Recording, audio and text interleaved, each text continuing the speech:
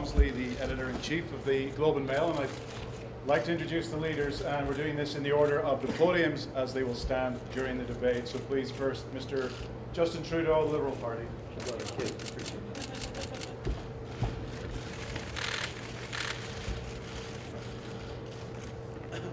Tom Mulcair, New Democratic.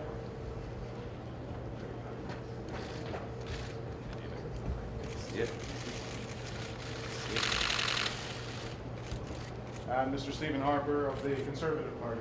David, this side. Surprised. Coming from this side. Trying to fool you. Good. See ya.